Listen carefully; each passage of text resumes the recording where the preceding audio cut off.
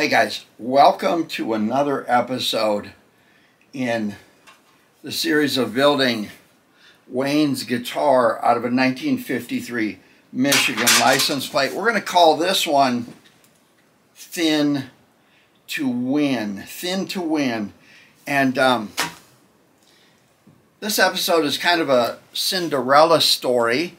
Now, it could be about a dude that actually auditioned for the band Cinderella, was offered the spot as the drummer, and then decided, I'm not wearing makeup and I'm not doing the Dolly Parton hair, so forget this.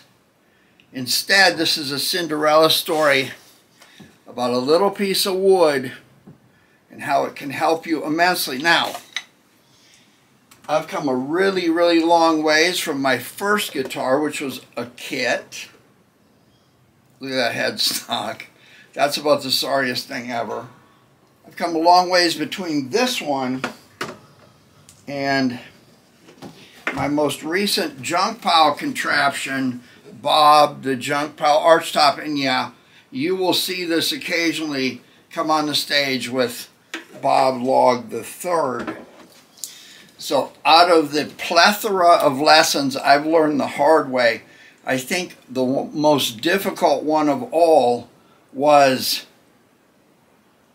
not having the headstock the right thickness and getting the guitar done and putting on the hardware and finding out that the headstock is too thick and your tuner is just barely turtle heading above, you like that term, turtle heading, above the headstock, barely enough to see it, much less put strings on. And that leaves you trying to reduce the thickness of the headstock after the fact. So today we're going to take a little piece of wood and I'm going to show you how to make sure that never happens again. Let's get to the bench. Okay guys, let's get to work. What we're doing here is we're going to build a neck now for Wayne's 1953 Michigan license plate. We did an episode on how to build a box for an oversized license plate like this or this one from 1932 Mississippi that you're coveting right now. I'm praying for you. I'm lighting a candle. Anyway, I'm going to give you a link to an episode right about there, right about now on how to build this your fancy box. Anyway, Wayne's guitar is going to have a homemade neck, and we're going to use for the headstock what's called blue Mahoe wood. See that? You see that? This stuff's got some really interesting grain, and you can make some hobby trinkets like this one here yeah, look at it. It's awesome. I'm just going to use this for the shot for the front end of the video. That's why we're taking so long. Anyway, this wood is pretty thick. How thick? Well, too thick to be a headstock. So, here's the problem. This is the stock thickness. If I put the tuner on there, you see there's not much room there. So, if I leave it like this, what's going to happen is I'm going to get the guitar together, the headstock is going to be pitched forward, and it'll be virtually impossible to take some thickness off. So, where's the pointer? You all know the Texas junk pile. You've coveted it before.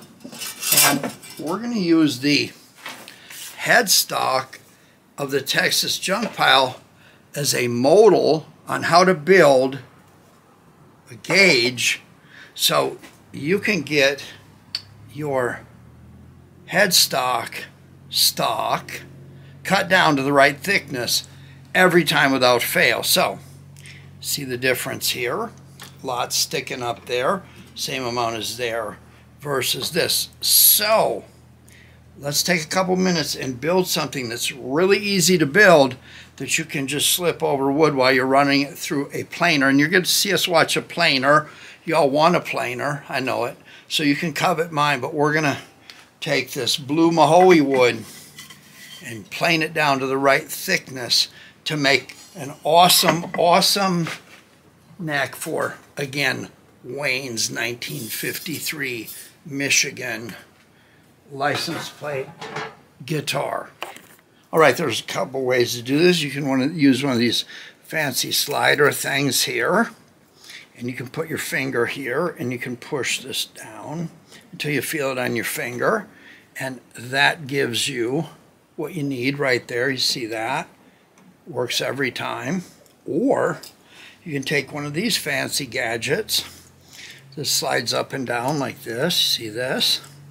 And you can just put it on there and slide it down until it's snug.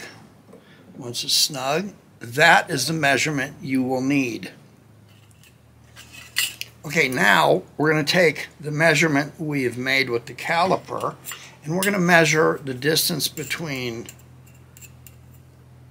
this opening right here. And we're going to take our ruler and we're going to say it's 7 and 56 97th, 1 thousandths, and 0.4. Or we're just going to flip it over and go, okay, that is 14 millimeters. Half of 14 is 7. We've taken a scrap piece of wood that is 26 millimeters across.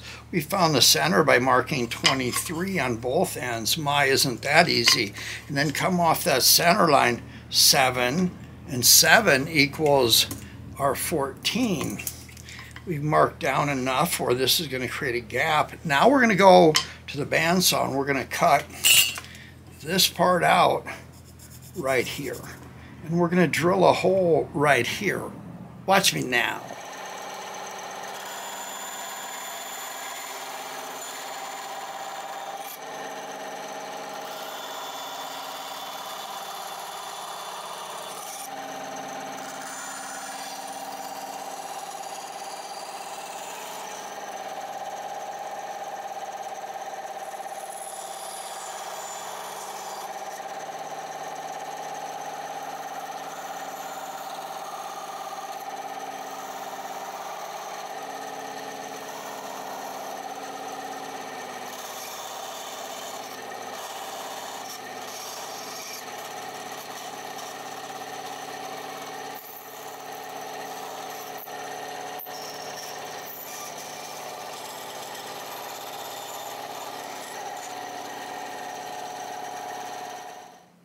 Okay, listen carefully.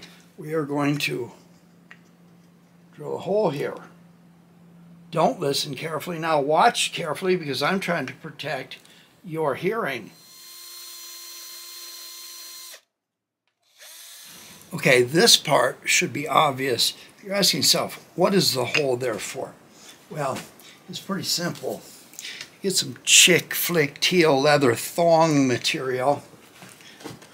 No, Come on, really, guys? And you cut it with chick flicked heel scissors.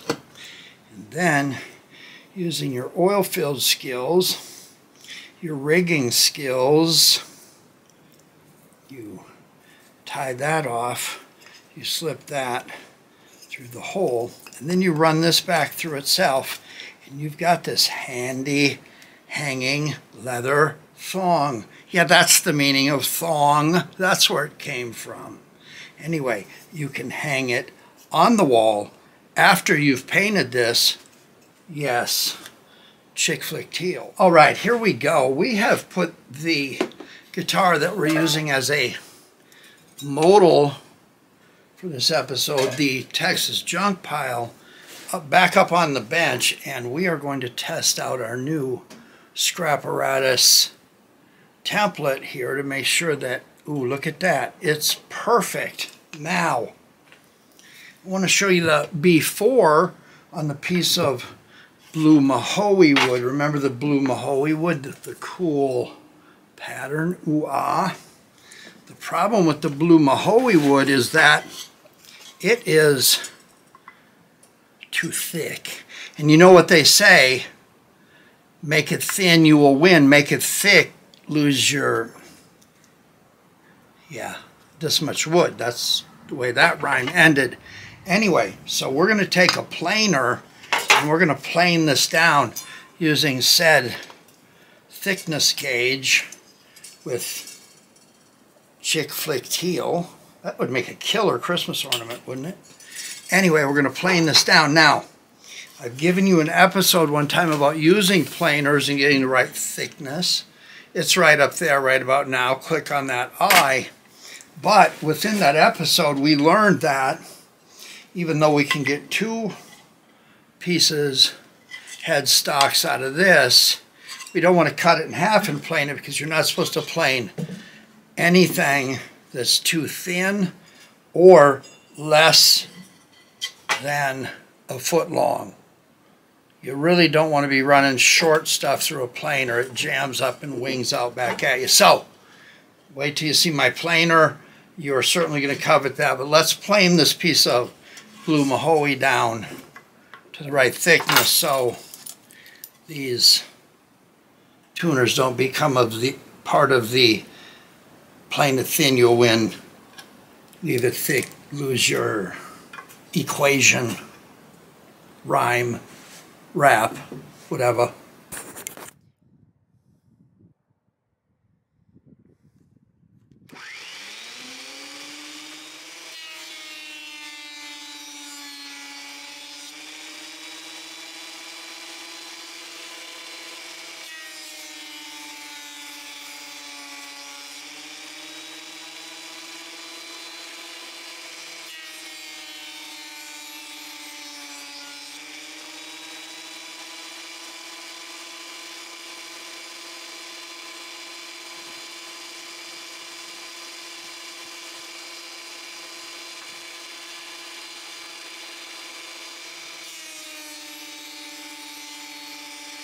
Okay, we are ready to show you the AFTA.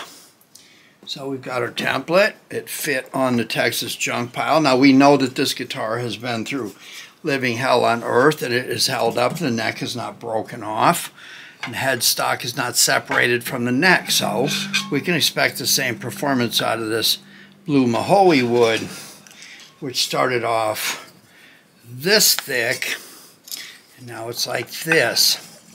So we're simply going to put our headstock pattern on here and we're going to make a, a mark with the KP election pencil right about there. That's going to give us enough to do two.